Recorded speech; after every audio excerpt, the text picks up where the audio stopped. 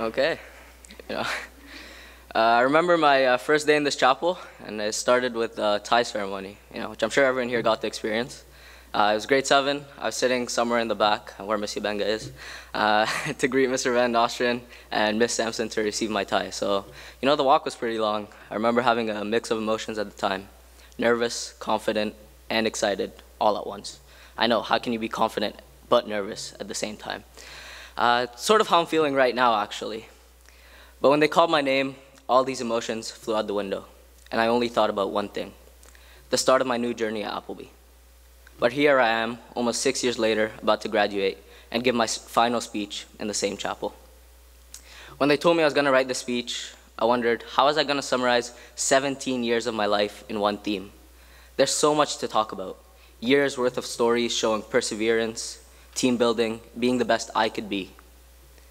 I wish I could speak about all of them, but ultimately, in the limited time I have, I've decided to sum it up all under one theme. Good morning, Appleby. My name is Yassin Reda, or as my friends like to call me, Yasso. Today, I want to sum up my whole life to you in one motto. You only live once. Or at least that's how people like to think of it. The way I see it is that we only die once, and we get to live every single day. As corny as that may sound, I want everyone here to put this into perspective and realize the weight of these words. On some odd day, September 1st, 2004, I was brought into the world. Now, I'll tell you, that day was not what I expected. Instead of being met with plates of food and a car waiting to take me to a palace, I was put in a tiny trolley and carted off with a bunch of other babies. I know, right? Not what any of us expect. I was a twin, but unfortunately, my mom lost the other half. You know, I was just another kid born in Cairo, Egypt. But I can't say it wasn't a magical moment. This was the day I was born to two loving parents that will give me the ability to travel around the world, experience new things, and give you this speech today. The journey was long, but I'll try to summarize it for you as best as I can. For the first eight years of my life, I was raised in Egypt. There, I was introduced to the tedious language of French, the complexities of Arabic, and more importantly, the culture and traditions of my home country the values that I carry today, my beliefs, my religion, and more. But then a big revolution sparked, and soon enough, I find myself flying to a new country, the United Arab Emirates. Now, this was a totally different experience. Although I was still in grades four and five, it was a fun time, you know. Remember going to Atlantis, super fun water park from time to time, trampolining at a place called Bounce, which is the equivalent of the Canadian Air Riders, but 10 times better. You know, they had those walls you could jump off of um, and land on a trampoline. You know, super fun, right? I almost took the sport seriously, by the way. No matter what, every day I had some aspect of fun, whether it was swimming at the beach, playing rugby with friends, and more. I was flooded by a variety of new experiences, one of which was actually learning the English language. I had just moved from a French school and had limited knowledge of English. I practically learned from watching movies and reading a couple books, you know, Cinderella, um, other things, you know, Disney pretty much. But I can't complain. While my grades in the course were suffering, I had a pretty sick accent, you know, mix of French and English. Uh, yeah, you, you could have heard it, but I won't say it right now because, you know, I might, might not be the exact same. Anyway, after two years in Dubai, I eventually found my way to Canada, where I've been for the past seven years, and here I am now. You know, except for the weather being cold all the time, it's actually not bad at all. You know, it was a new experience. I mean, the heaters in the buildings make it better. Uh, the big Canada, the big Canada Goose jackets always make you nice and warm. Obviously, I'm just kidding, but Canada has a lot to offer, and I'm sure most of you know that. Now, you may be wondering why I'm telling you about my life story and how I traveled and lived in multiple countries. It's because these experiences have allowed me to pick up many things along the way. Whether it's the thousands of sports that my mom signed me up for, like water polo, squash, gymnastics, karate, hockey, and football, I mean soccer, just to name a few, or the three languages I've become fluent at, French, bonjour, English, what's up, yo, and Arabic, ahlan wa sahlan, or the variety of traditions, cultures, and languages that I've encountered, I was always learning a new skill, language, tradition, culture, and value. All this moving around made me realize that the most important thing in life is creating learning experiences. It's about constant change and experimenting. It's about asking the question, what's next? That was my only real problem in life what to do next. With this question, you could find your purpose, dreams, passions, and goals. You can live life in the present and experience new things. You may think this may be a stretch, But with this simple question, I was able to find my purpose. I'll tell you how. Try many different experiences, activities, and programs. With one experience after another, you can find what you like until you set upon something you know you'll love forever. For example, after trying many activities, ones I didn't like or had lost interest in, I'd ask myself, what's next? Until I found one that like. Sounds easy enough, right? Was my passion writing novels? No.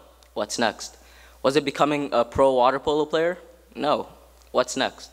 One by one, experience after experience, you'll find what you've been searching for, what you like doing, and what you are good at. But most of all, you would have lived a life learning something new. For me, that thing I was searching for was building and creating unique things, envisioning products and working with my hands to make them a reality. But even in this passion of mine, I asked the question, what's next? At first, it started with Legos when I was a kid. What's next? A small RC boat. What's next? A motorized bike. What's next? A 12 foot boat made from recycled water bottles. What's next? You all get the point, right? If I hadn't asked these questions, I would have never ended up finding my passion and my purpose. Every single experience added to the other, giving me a skill set and a newfound knowledge. And as it turns out, this path has led me to study engineering at university next year. Now, that doesn't mean it's smooth sailing from here or that this purpose is set into stone. Just because I have a goal in mind doesn't mean carrying out that dream will always work out. I might end up bombing calculus in university and dropping out. I really hope I don't, though. You know, my parents would be pissed. Yeah, I'm kidding. They're the most supportive people on earth. After all, I wouldn't have ended up here without them and my two brothers if it wasn't for them. But still, they might be pissed for a bit. What I'm trying to say is that the world is a sea of experiences. So why not throw your reel into the water and try something new? We're all extremely lucky to be here right now. We have a life of privilege and a life of opportunity. So why not take advantage of every second we have on this earth to make ourselves better people and make the world a better place? As I said in the beginning of my speech, we only die once and we get to live every single day. So why waste times on our phone, watching TV, or procrastinating when we could be doing something? Whatever we think will make us happy and more fulfilled in this lifetime. You know, we can't all live forever. At the end of the day, when your time comes, and it will come, sorry if I bummed anyone out, how will you want to be remembered? How will you want to feel about yourself? Do you want to go out with regrets? Do you want to say, I wish I could have done this or I wish I could have done that? That's why I want every single person here to wake up every morning and ask, what's next? What new experience will you discover today? Some may be good and others not so much, but I guarantee you 100% Every single experience is an important one. Don't believe me? This chapel speech was actually meant to be done a couple months ago.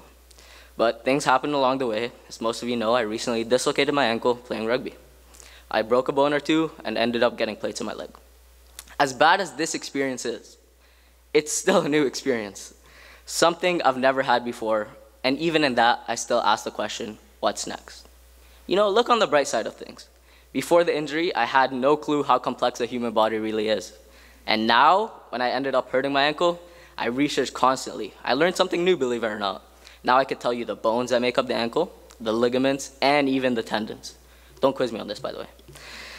I've become an expert in a matter of days, but that's not all. Every day, I ask what's next. What's physio going to feel like? That's something I'm about to discover. What is walking without a boot going to feel like?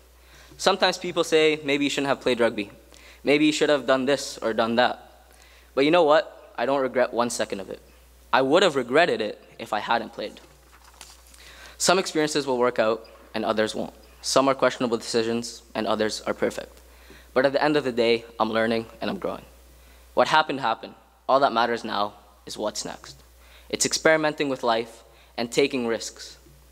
At the end of the day, no matter how bad it is, you're going to make it, as long as you find your purpose and have goals in mind you know, I might not be able to play rugby again, but if I try hard enough and set goals in mind, I might still have a shot at the UFC. Yeah, the Ultimate Frisbee Championship. For those about to graduate, my fellow S2s, I want to say that nothing in life is worthwhile unless you take risks. If you want it, go get it.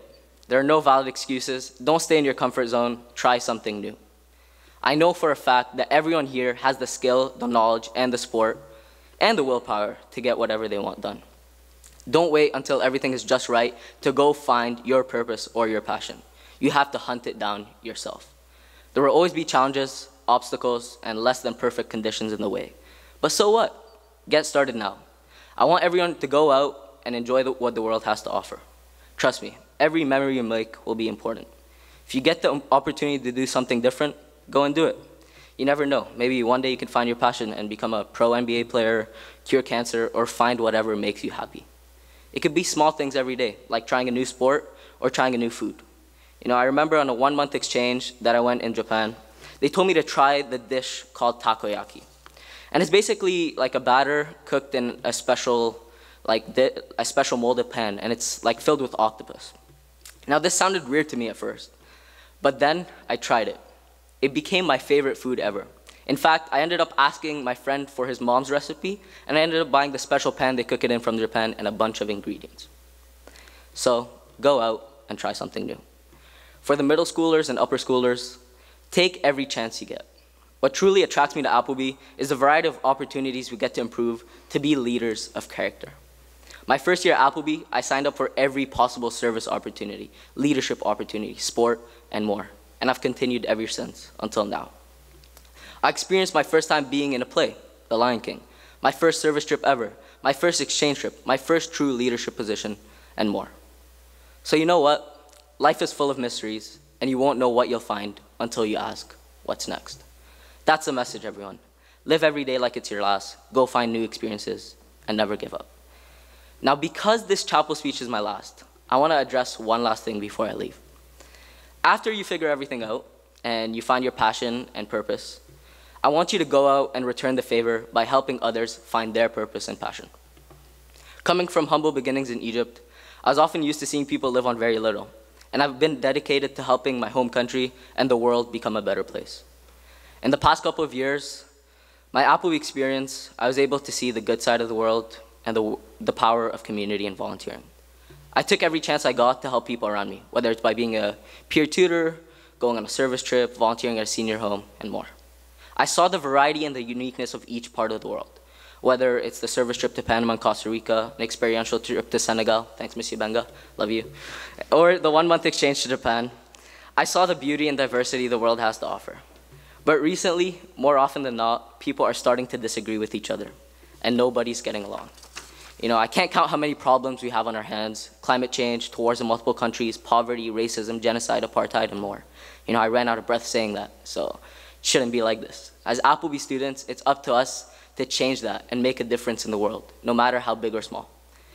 As you move on through your journey in life and gain all these new experiences, I want you to consider how you could be a part of this process whether it's volunteering your time, your love, or your passion. What will you offer this world, and how will you make it a better place? What legacy will you end up leaving? Starting today, I need you to forget what's gone, appreciate what still remains, and look forward to what's coming next. Thank you.